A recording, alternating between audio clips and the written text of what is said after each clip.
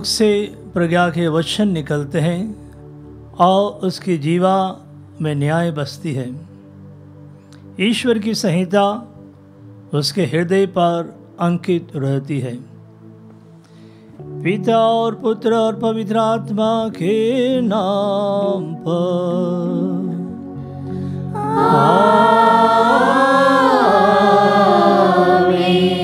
हमारे प्रभु यीशु ख्रीस्त की कृपा ईश्वर का प्रेम और पवित्र आत्मा का सहचर्य आप सबों को प्राप्त हो। आत्मा के साथ। क्रिस में प्यारे भाइयों बहनों और बच्चों आज हम संत अंथोनी की मदिसा के द्वारा प्रभु से प्रार्थना करने के लिए एकत्र हुए हैं। आज हमारी नौवीना का चौथा दिन है कि जब हम ईश्वर के प्रति और पड़ोसी के प्रति हमारे प्रेम का वर्णन हम सुनेंगे।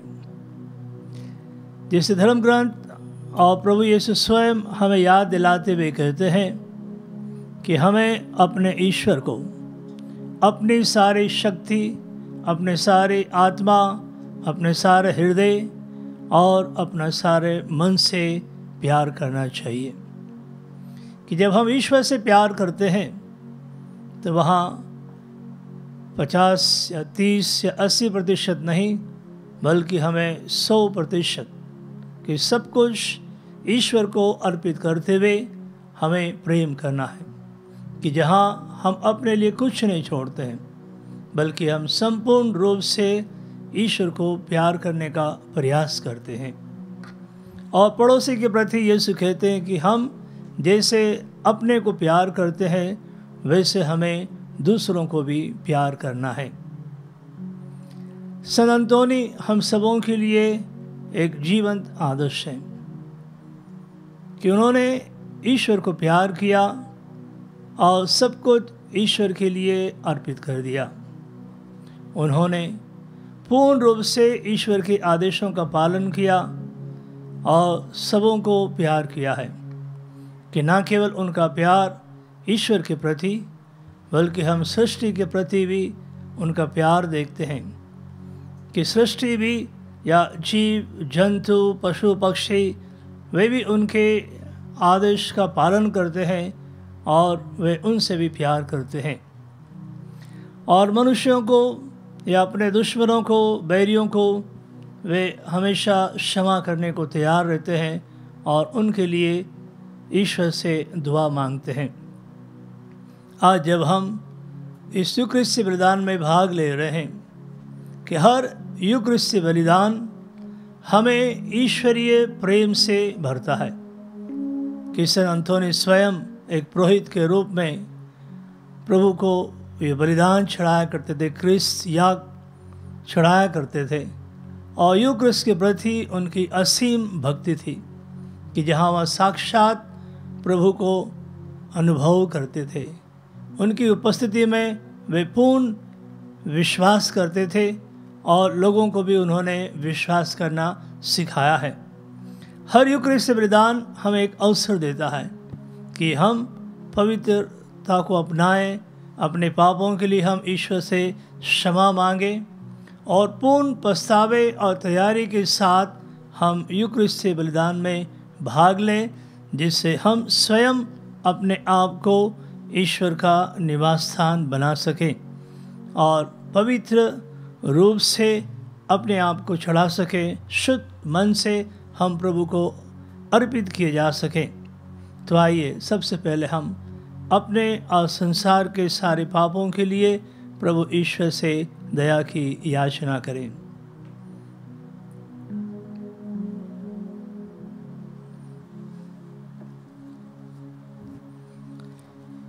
हे भाइयों बहनों मैं सर्वशक्तिमान ईश्वर और आप लोगों के सामने स्वीकार करती हूँ कि मैंने मन वचन और कर्म से तथा अपना कर्तव्य पूरा न करने से अपने कसूर से, अपने कसूर से, अपने भारी कसूर से घोर पाप किया है। इसलिए मैं नित्य कुमारी धन्य मरियम से, सब स्वर्गदूतों, संतों और आप लोगों से, हे भाइयों बहनों, विनती करती हूँ कि आप लोग मेरे लिए प्रभु ईश्वर से प्रार्थना करें। सरस्वतीमान ईश्वर हम लोगों पर दया करे और हमारे पाप क्षमा कर हमें अनंत जीवन प्रदान करे। आमीन।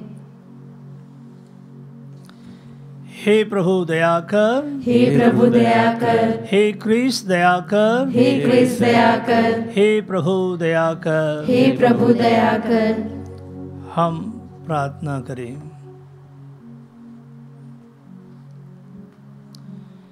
हे सरस्वतीमान शाश्वत ईश्वर तूने धन्य सन अंथोनी को अपनी कलिसा के लिए धर्माचार्य के रूप में प्रदान किया। पवित्र आत्मा से प्रेरित इनकी शिक्षा हमारे हृदयों में सदा दृढ़ बनी रहे।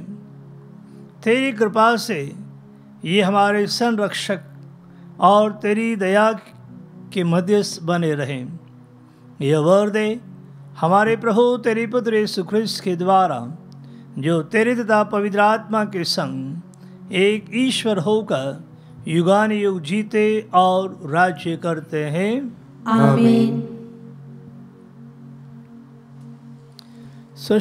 ईश्वर आपकी जीवा और हृदय शुद्ध कर दे जिससे आप योग्य रीति से ईश वचन की घोषणा कर सके। पिता पुत्र और पवित्र आत्मा के नाम पर आमीन।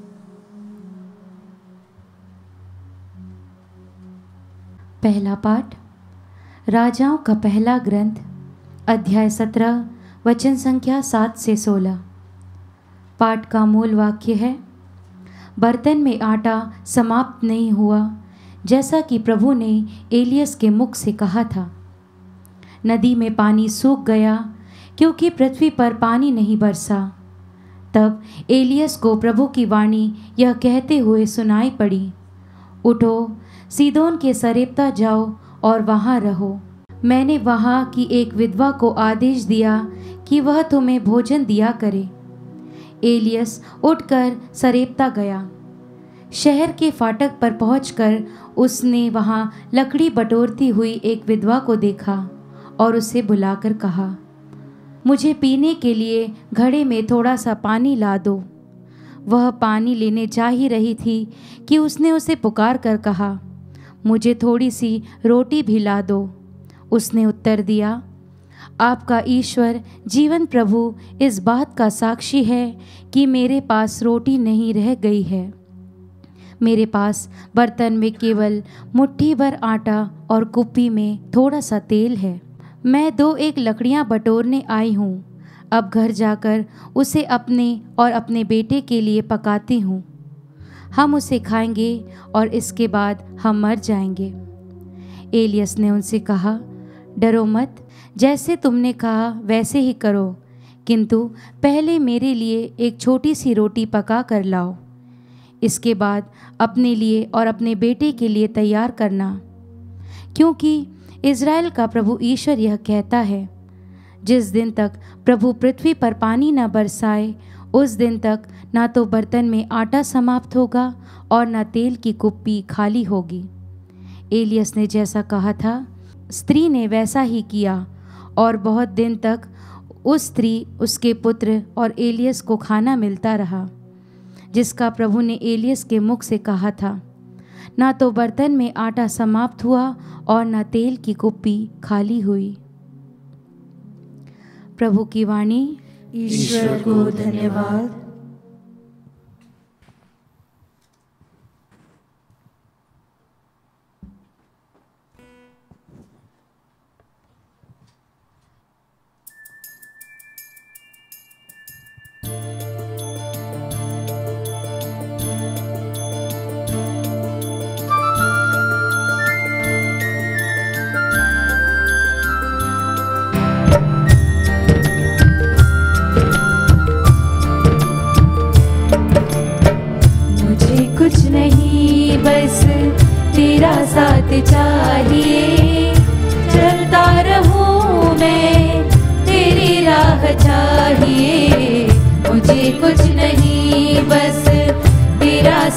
चाहिए।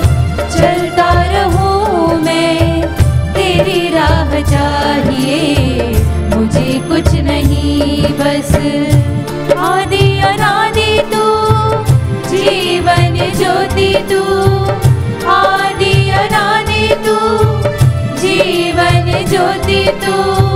तेरी ज्योत चाहिए, मुझे कुछ नहीं, बस तेरा साथ चाहिए। चलता रहूँ मैं, तेरी राह चाहिए। मुझे कुछ नहीं, बस तेरा साथ चाहिए। चलता रहूँ मैं, तेरी राह चाहिए। मुझे कुछ नहीं, बस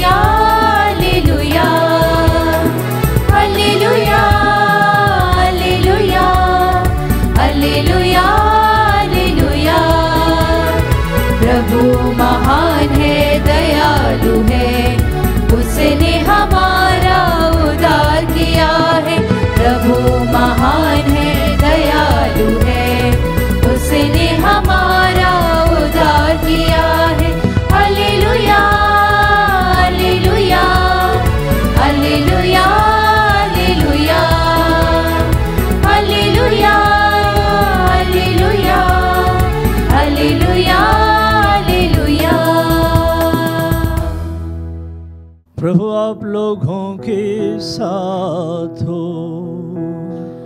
और आपकी आत्मा के साथ। संत मती के अनुसार प्रभु यीशु ख्रिस्त का पवित्र सुसमाचार। हे प्रभु तेरी महिमा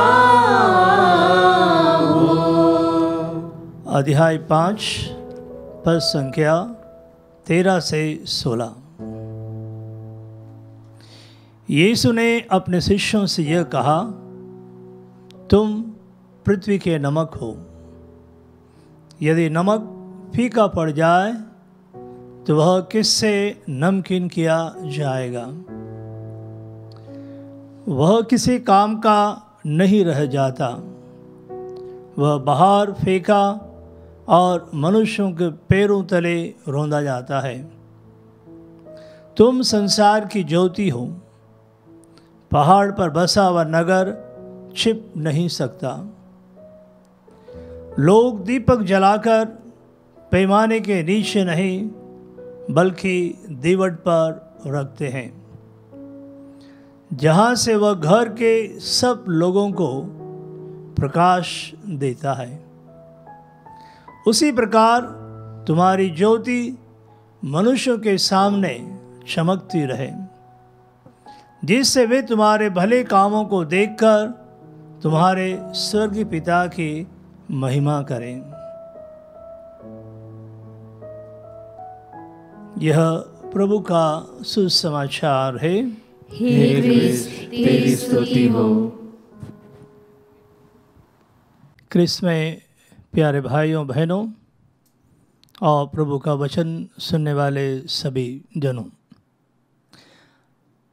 आज जब हम प्रभु का वचन सुनकर उस पर मनन चिंतन कर रहे हैं कि पहले पाठ में कि जहाँ नबी एलियस के द्वारा सरिप्ता के एक विधवा के यहाँ मुट्ठी भर आटा और कुप्पी में रखा हुआ तेल, जो साढ़े तीन सालों तक वैसा ही बना रहता है। और साढ़े तीन सालों तक नबी, विधवा और उसका बेटा भोजन करते हैं। प्रभु के भक्त हमेशा प्रभु से आशीर्वाद पाते हैं। जैसे स्रोत चार में हम पढ़ते हैं कि जहाँ भजनगार कहता है, ईश्वर, मेरे रक्षक, तू सदा मेरी प्रार्थना सुनता और मुझे संकट से छुड़ाता है। मुझ पर दया कर और मेरी प्रार्थना सुनने की कृपा कर। प्यारे भाइयों, बहनों, हम सन अंथोनी के जीवन में देखते हैं कि वह प्रार्थना करने वाले थे, कि ईश्वर ने उन्हें प्रदत्त वरदानों से सुसज्जित किया था। लेकिन उनका सबसे विशेष गुण जो है, वह है प्रार्थना का मनोभाव, कि वो हर ज़रूरत में ईश्वर पर अपना भरोसा प्रकट करते थे और प्रार्थना में ईश्वर से मांगते थे। सन अंतोनी कलिसिया के संतों में सबसे महान संत गिने जाते हैं, माता मरियम संत जोसफ के बाद। और ईश्वर ने उन्हें अनगिनत करिश्माई वरदानों से सुसज्जित किया है। कि सन अंथोनी, जिन्हें भाषा का वरदान मिला, कि जब वे प्रवचन या उपदेश दिया करते थे तो कई बार लोग अपनी अपनी भाषाओं में उनके उपदेशों को सुनते थे, जबकि सन अंथोनी केवल पोर्चुगी जानते थे। कि वे धर्म ग्रंथ के ज्ञाता थे। बाइबल का उन्होंने सन अगस्टिन मठ में रहते हुए गहन अध्ययन किया था। इस शास्त्र को उन्होंने बहुत गहराई से जाना, उसका अध्ययन किया और उन्होंने उसकी शिक्षा भी दी है। संत अंतोनी के बारे में कहा जाता है कि जब उन्हें संत पापा से आदेश मिला कि चालीसा के समय वह इटली में प्रवचन दें तो लोगों ने उनके प्रवचन को अपनी अपनी भाषाओं में सुना, समझा। तो इस प्रकार के कई घटनाएँ हैं कि जब ईश्वर ने भाषा के वरदान के द्वारा, कि जैसे पेंतेकोस के दिन पैतरुस लोगों को उपदेश देते हैं, प्रवचन देते हैं, और वहाँ उपस्थित लोग अपनी अपनी भाषाओं में प्रवचन को सुनते हैं, समझते हैं, वैसा ही हम सन के जीवन में भी देखते हैं। सन अंतोनी को ईश्वर ने बहुत शक्तिशाली भविष्यवाणी के वरदान से भी उन्हें सुसज्जित किया है कि सन अंथोनी लोगों को देखकर उनके भविष्य के जीवन को बता पाते हैं।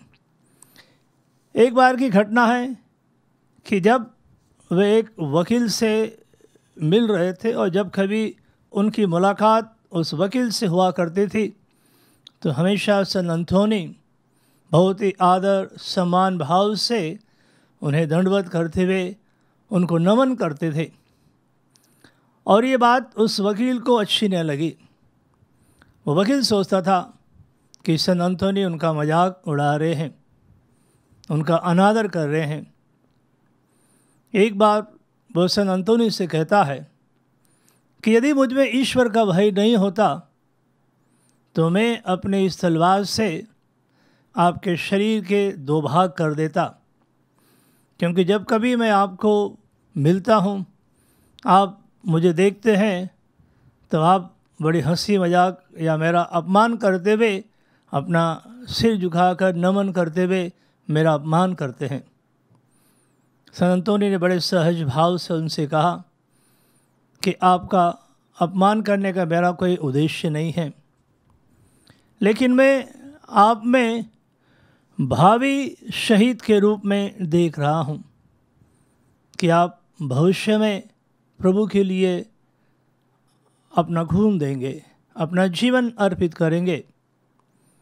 ये बात अवश्य उस समय उस वकील की समझ में नहीं आए और उसने मज़ाक समझ कर टाल दिया।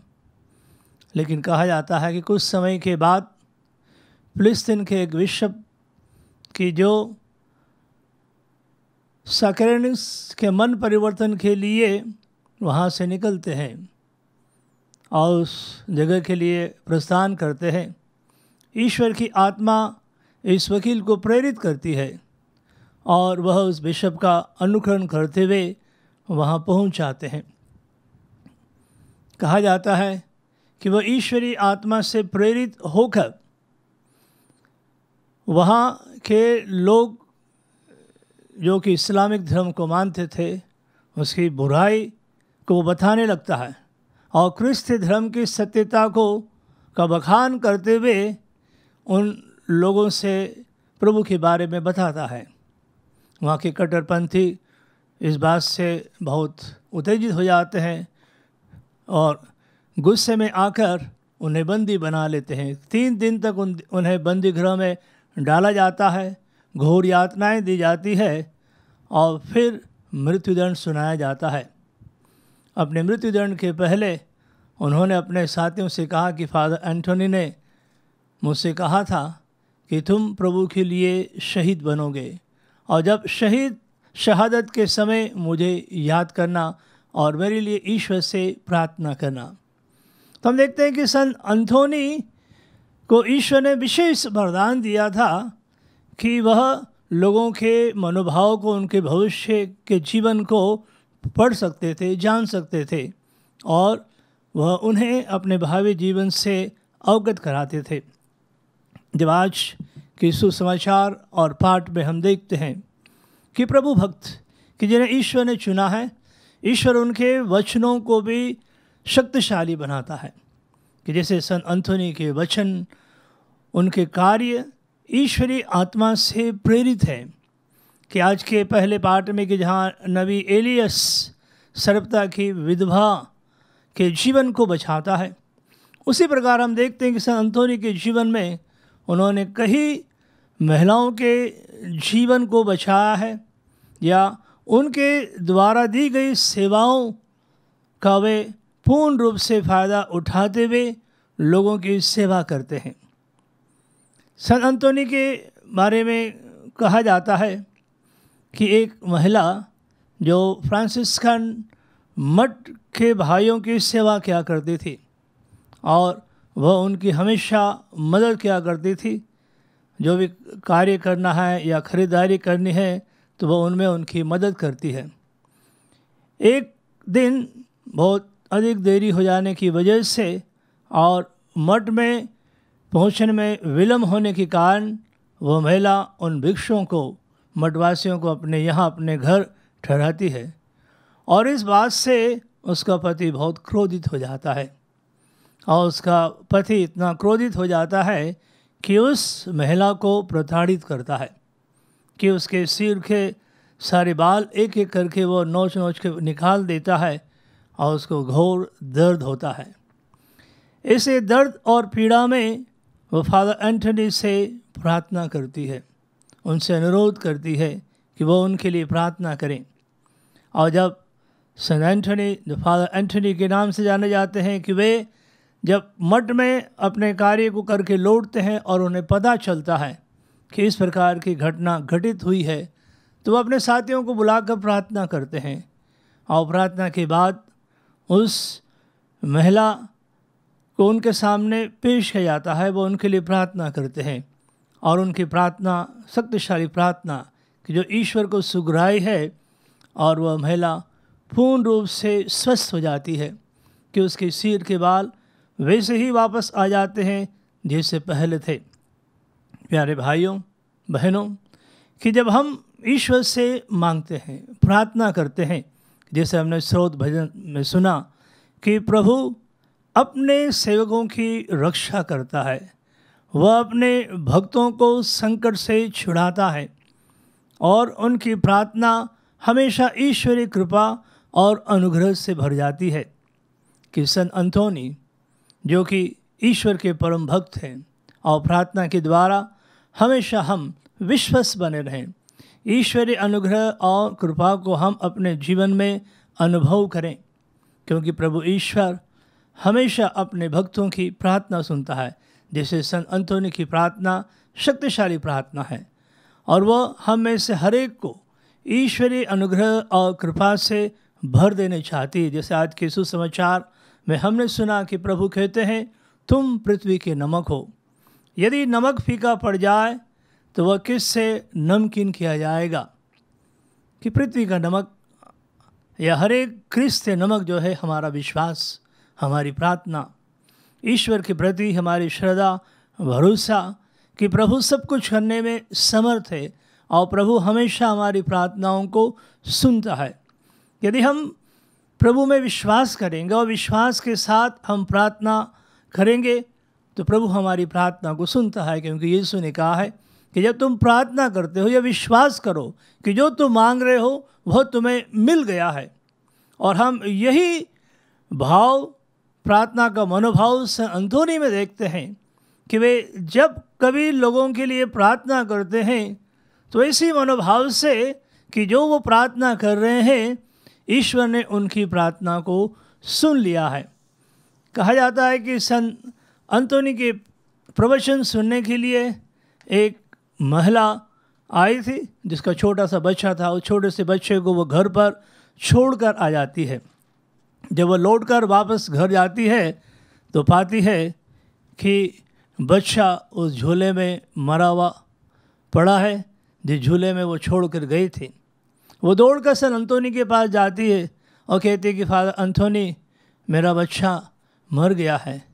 और फादर एंथोनी सन एंथोनी उस महिला से कहते हैं, बड़े विश्वास के साथ उससे कहते हैं कि, जाओ, आपका बच्चा जीवित है।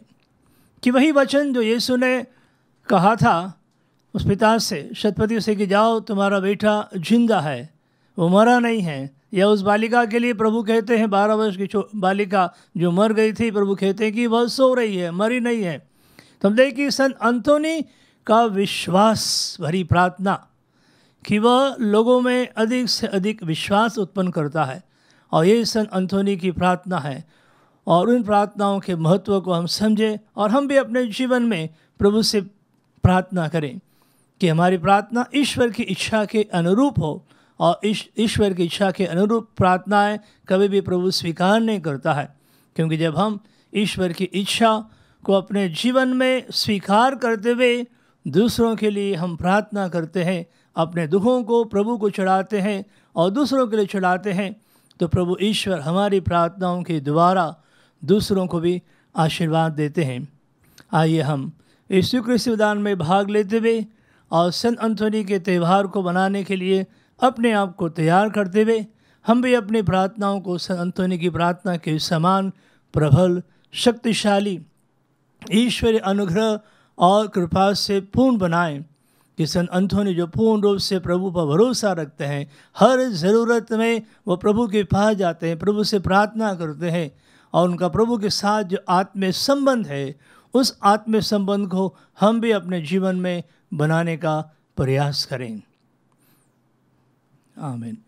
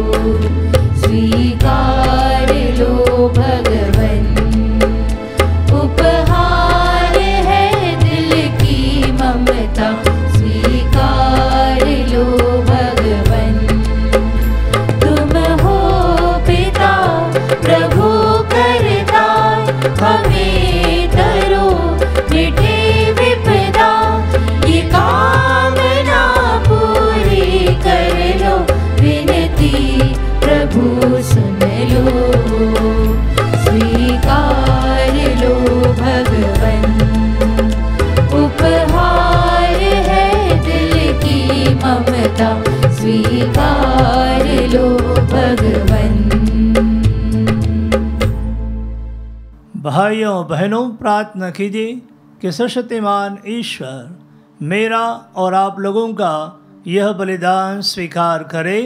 प्रभु अपने नाम की स्तुति तथा महिमा के लिए और हमारे तथा अपने समस्त पवित्र कलीसिया के लाभ के लिए आपके हाथों से बलिदान स्वीकार करें। हम प्रार्थना करें। ईश्वर धन्य सन अंतोनी के स्मरण दिवस पर जो बलिदान हम तुझे अर्पित कर रहे हैं वह तुझे पसंद आए।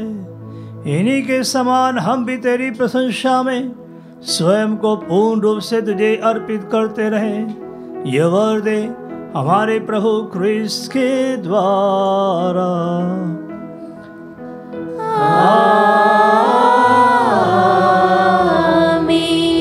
प्रभु आप लोगों के साथ और आपकी आत्मा के साथ प्रभु में मन लगाइए। हम प्रभु में मन लगाए हुए हैं। हम अपने प्रभु ईश्वर को धन्यवाद दें। यह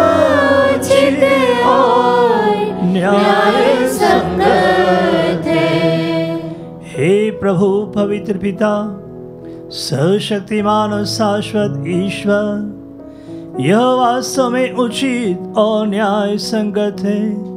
हमारा कर्तव्य तथा कल्याण है कि हम सदा सर्वत्र अपने प्रभु ख्रिस्त के द्वारा तुझे धन्यवाद दें।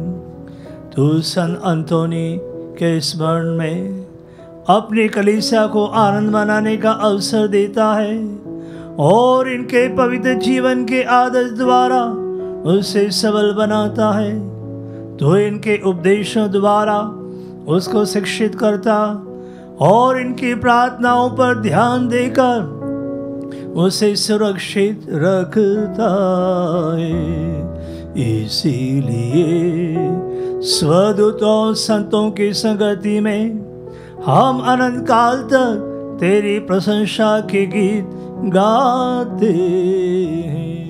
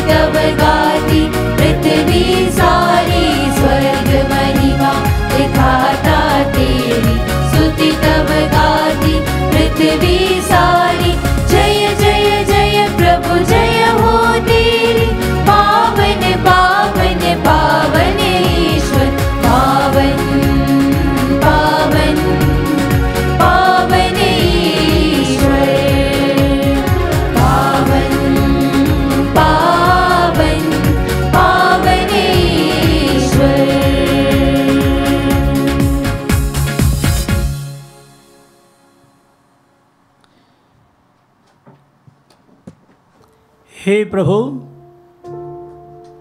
तो वास्तव में पवित्र है। सारी पवित्रता का स्रोत है। हम तुझसे प्रार्थना करते हैं तो इन उपहारों को अपने आत्मा के संस्पर्श से पवित्र कर दे। यह हमारे प्रभु यीशु के शरीर तथा रक्त बन जाए। जब वे स्वेच्छा से मृत्यु के लिए सौंपे गए, उन्होंने रोटी ली, तुझे धन्यवाद दिया और रोटी तोड़कर उसे अपने शिष्यों को देते हुए कहा, तुम सब इसे लो और इसमें से खाओ, क्योंकि यह मेरा शरीर है, जो तुम्हारे लिए बलि चढ़ाया जाएगा। हे मेरे प्रभु, हे मेरे ईश्वर।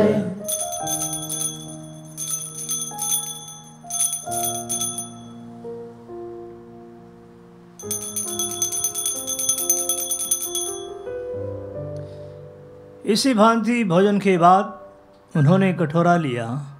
तुझे धन्यवाद दिया और उसे अपने शिष्यों को देते हुए कहा, तुम सब इसे लो और इसमें से पियो क्योंकि यह मेरे रक्त का कटोरा है, नवीन और अनंत व्यवस्थान का रक्त, जो तुम्हारे और बहुतों के पापों की क्षमा के लिए बहाया जाएगा।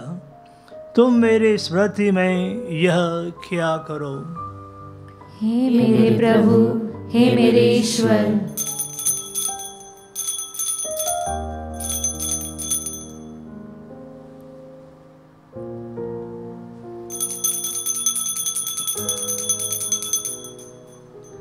विश्वास का रहस्य हे प्रभु जब हम यह रोटी खाते और यह कटोरा पीते हैं तेरे पुनरागमन तक तेरी मृत्यु की घोषणा करते हैं। इसलिए हे प्रभु हम क्रिस की मृत्यु और पुनरुत्थान की स्मृति में तुझे जीवन की रोटी और मुक्तिया कटोरा चढ़ाते हैं। हम तुझे धन्यवाद देते हैं।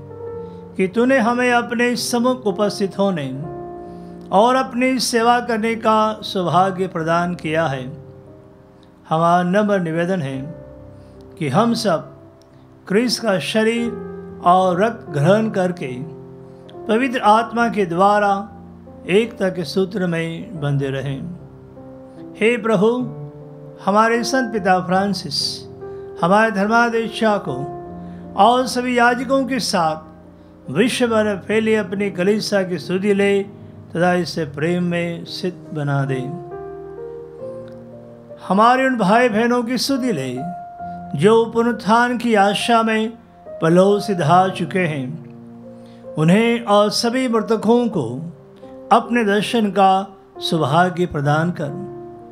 हम सब पर दया दृष्टि डाल कि हम भी अनंत जीवन के सौभागी बने, और ईश्वर की माता धने कुआरी मरियम, उनके वर धने योसफ धने प्रेतुम सनंतोनी और सब संतों के साथ, जो युग युग में तेरे प्रति विश्वस बने रहें, तेरी स्तुति और महिमा कर सकें, तेरे पुत्र यीशु क्रिस्त के द्वारा।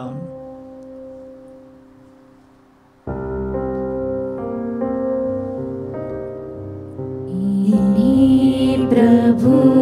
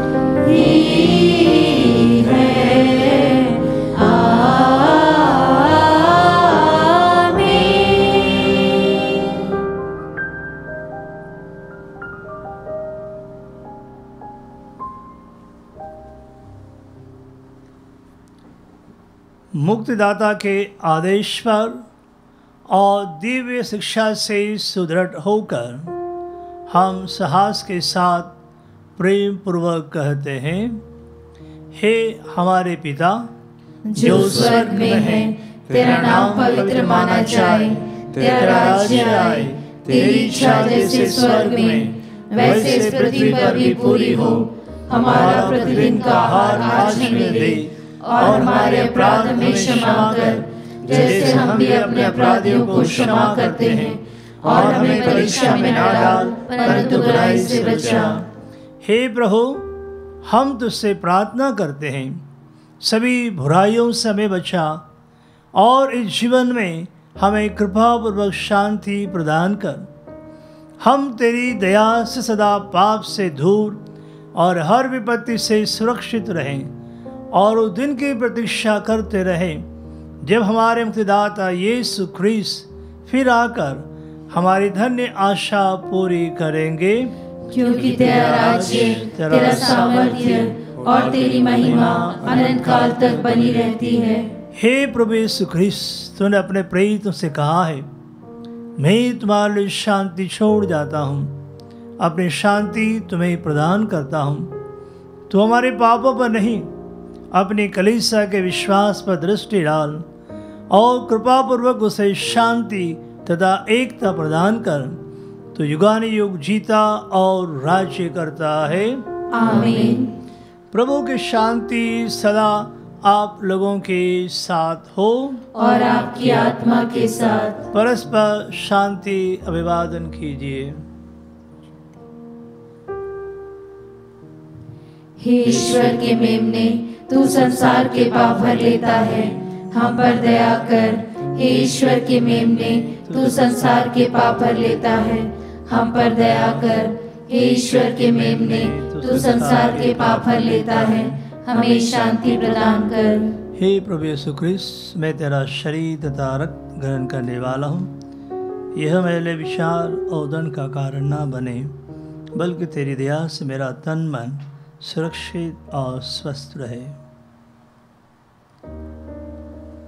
देखिए ईश्वर का मेमना इन्हें देखिए जो संसार के पाप हर लेते हैं। धन्य है वे जो मेमने के भोज में बुलाए गए हैं। हे प्रभु मैं योग्य नहीं हूँ कि तू मेरे यहाँ आए किंतु एक ही शब्द कह दे और मेरी आत्मा चंगी हो जाएगी।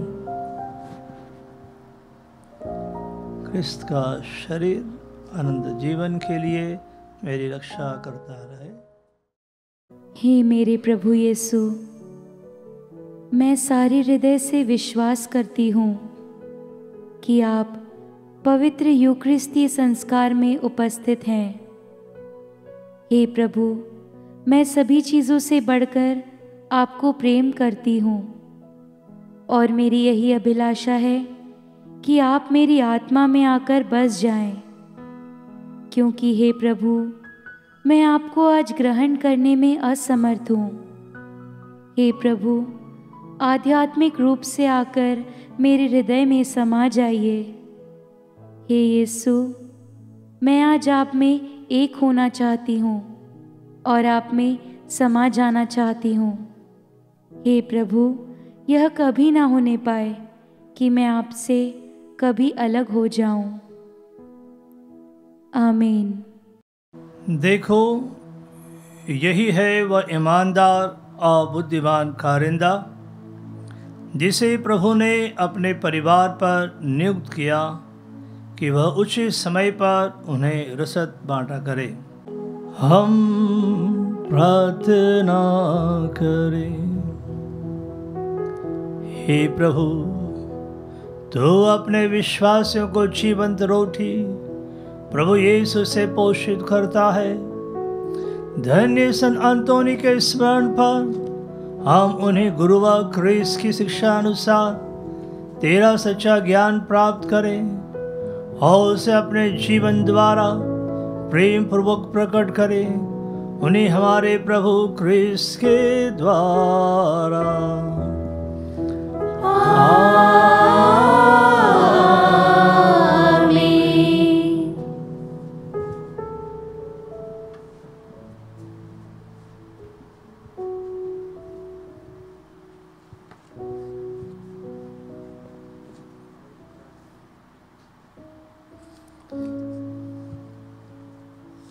आरंभिक प्रार्थना, हे सरस्वतीमान पिता ईश्वर, तू सारे सृष्टि का सृष्टि करता है और अपने संतों में प्रशंसनीय है।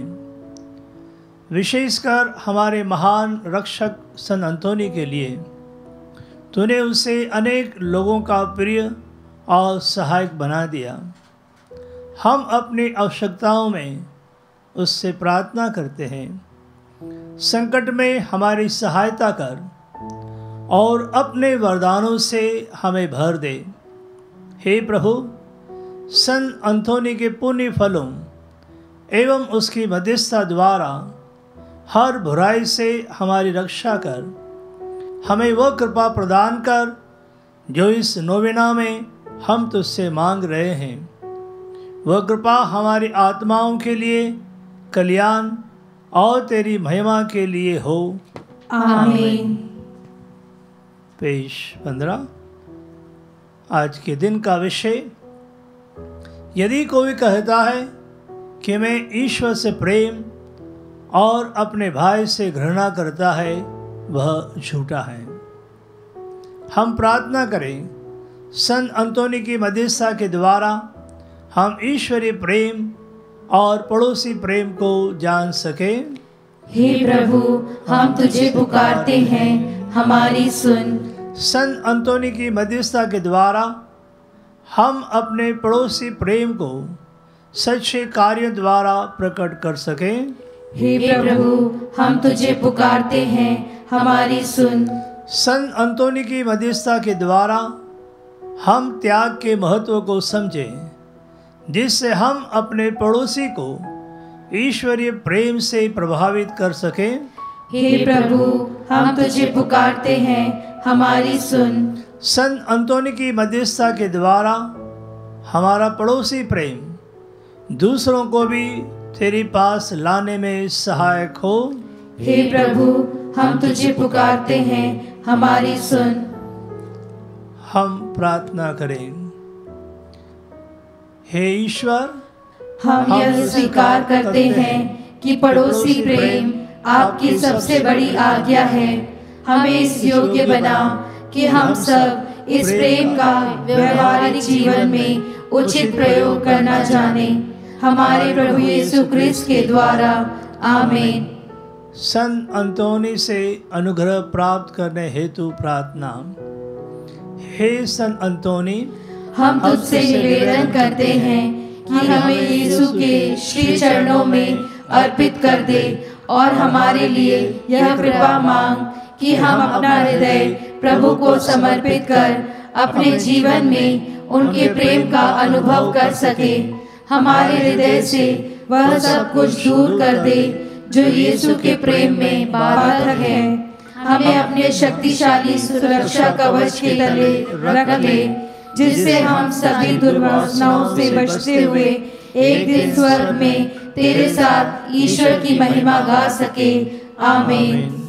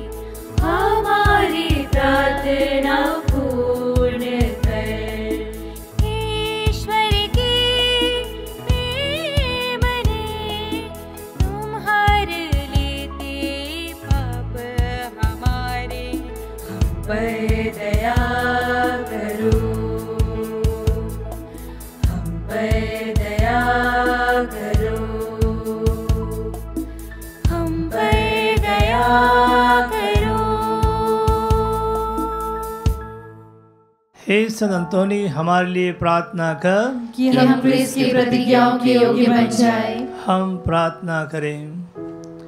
हे दयालु प्रभु तूने अद्भुत रीति से संत अंतोनी को अपना महान प्रचारक चुना है।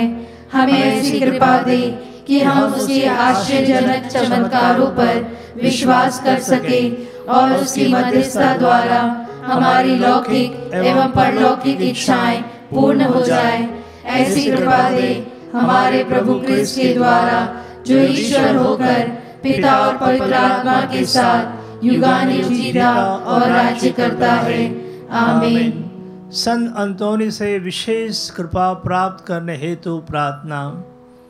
हे सन अंतोनी मैं सारे हृदय से तुझे प्रणाम करता हूँ। तू अलौकिक कृपा युक्त स्रोत है। प्रभु यीशु तेरे साथ है। तू आध्यात्मिक पिता संत फ्रांसिस का पवित्र, नम्र, विनीत और प्रशंसनीय पुत्र है। स्मरण कर, हे चमत्कारी संत, स्मरण कर कि जो भी आवश्यकता में तुझे पुकारता है, उन्हें तू सहायता या आश्वासन देने से कभी इनकार नहीं करता है। तेरे अनुपम विश्वास से मुझे उत्तेजित कर कि मैं व्यर्थ बातों में विश्वास न करूँ। मैं तुझे पुकारता हूँ। तू कृपा का धनी और बालक यीशु का प्रिय मित्र है। हे संत अंतोनी, दिनों और चमत्कारों के संग मुझे तेरी मदद और अनुग्रह की आवश्यकता है। आइए मौन रूप से अपने निवेदनों को, जो हम सनंतोनी की मध्यस्थता प्रभु से ही चाहते हैं, जो ईश्वर की इच्छा के अनुरूप हो। और हमारे आत्मिक कल्याण के लिए आवश्यक हो हम प्रभु से मांगे। इसलिए वर्तमान आवश्यकता में मेरी मदद कर ताकि मैं विश्वास से पूर्ण होकर दिनों असहायों के बीच तेरी रोटी बांट सकूँ। पिता पुत्र और पवित्र आत्मा के नाम पर मुझे आशीष दे। प्रभु यीशु क्रिस्त आपके साथ हो और आपकी रक्षा करे। वह आप में निवास करे और आपको सुरक्षित रखे। वह आपके आगे चले और आपको मार्ग दिखाए। वह आपके पीछे रहे और आपको संभाले। वह आपके ऊपर विराजमान हो और आपको आशीर्वाद दे। पिता पुत्र और पवित्र आत्मा के नाम पर आमीन।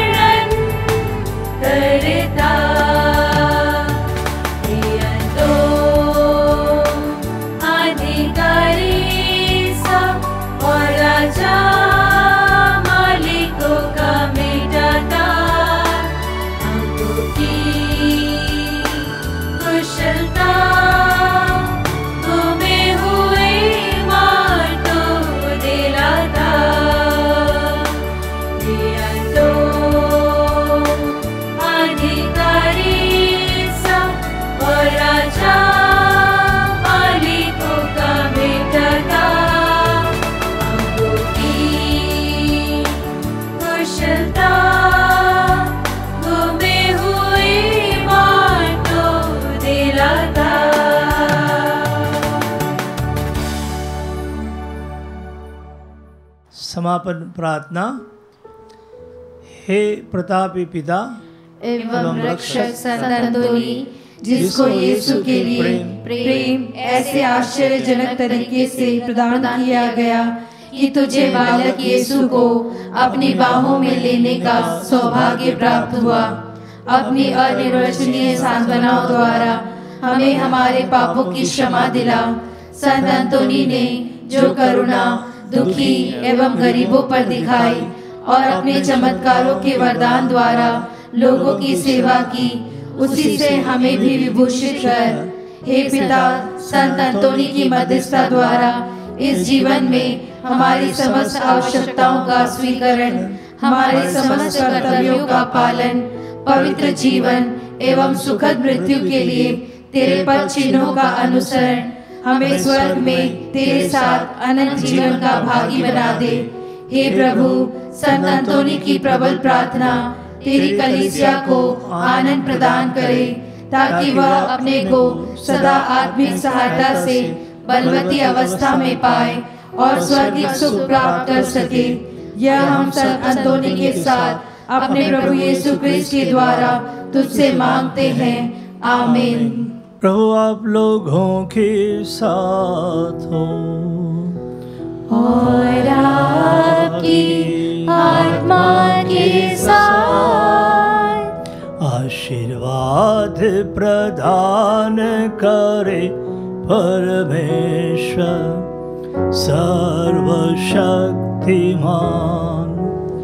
पिता पुत्र और पावन आत्मा। आमीन आमीन आमीन जाए क्रिस्त यज्ञ हुआ संपन्न। ईश्वर